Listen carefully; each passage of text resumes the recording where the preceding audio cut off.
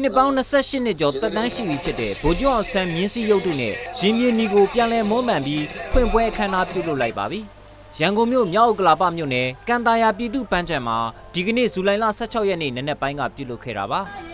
ဒီဗိုလ်ချုပ်ရုပ်တုကို1989ခုနှစ်ကပြုလုပ်ခဲ့ပြီးနှစ်ပေါင်းများစွာယွင်ယွင်းပျက်စီးနေခဲ့တာပါ။ယခုအစိုးရတက်လက်ထက်မှာဗိုလ်ချုပ်ချစ်သူများအဖွဲ့ကနေပြည်သူတွေရဲ့ထည့်ဝင်လှူဒန်းငွေတွေနဲ့2019ဖေဖော်ဝါရီ15ရက်နေ့ကစပြီးပြင်ဆင်မွမ်းမံခဲ့ကြတာဖြစ်ပါတယ်။ကိုမင်းပေါ်နိုင်လည်းပြောခဲ့ပါ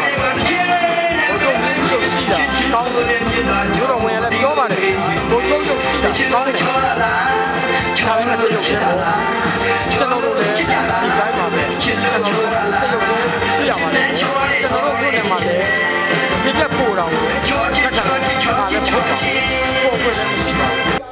ဗိုလ်ချုပ်အောင်ဆန်းမြင်းစည်းရုပ်တို့နဲ့ရင်ပြင်းနီဖွင့်ပွဲအခမ်းအနားမှာဗိုလ်ချုပ်ချစ်သူများအဖွဲ့ကနေအကျွေးအမွေးများနဲ့တက်ခင်းအခမ်းခဲ့တယ်လို့အမှုပညာရှင်တွေရဲ့ဖျော်ဖြေတင်ဆက်မှုတွေလည်းပါဝင်ခဲ့ပါတယ်။ပြည်သူတွေအနားယူပန်းဖြေနိုင်အောင်ရန်ကုန်တိုင်းဒေသရဲ့အစိုးရဘတ်ဂျက်နဲ့အစစ်မြစ်တင်ခြင်းလုပ်ငန်းတွေဆောင်ရွက်ဖို့ကြိုးစားသွားမယ်လို့လည်းမြောက်ဥက္ကလာမဲဆန္ဒနယ်အမှတ်နှစ်ကလွှတ်တော်ကိုယ်စားလှယ်ဦးမြင့်လွင်ကပြောပါရယ်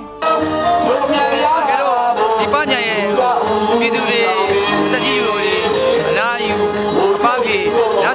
လျှောက်လဲအောင်နေချင်းကစက်ပိုင်ဆောင်တယ်အောင်တောင်းလိုက်တဲ့ဆိုပညာနဲ့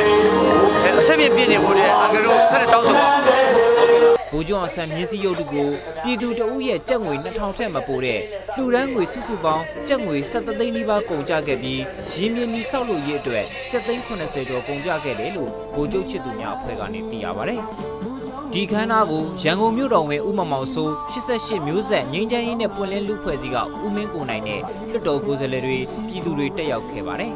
။ကျွန်တော်တောင်းလူပါ